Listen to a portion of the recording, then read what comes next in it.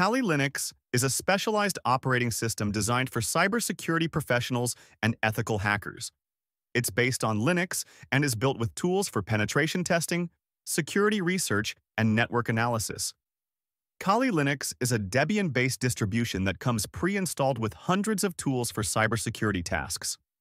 These include password crackers, vulnerability scanners, and tools for network monitoring, making it a go-to platform for ethical hackers.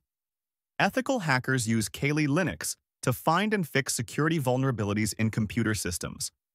It's commonly used for penetration testing, which involves simulating cyber attacks on a system to find weaknesses before actual hackers can exploit them. Kali is also used in digital forensics to recover data and investigate security incidents. Some of the most popular tools in Kali include Nmap for network scanning, Wireshark for packet analysis, Metasploit for exploiting vulnerabilities, and John the Ripper for password cracking. These tools allow users to test the security of systems in a controlled environment.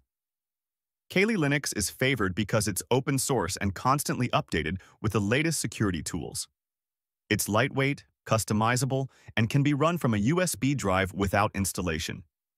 This makes it highly portable for professionals working in the field. In summary, Kali Linux is a powerful tool for ethical hackers and security researchers, offering a comprehensive suite of tools to test, secure, and analyze systems.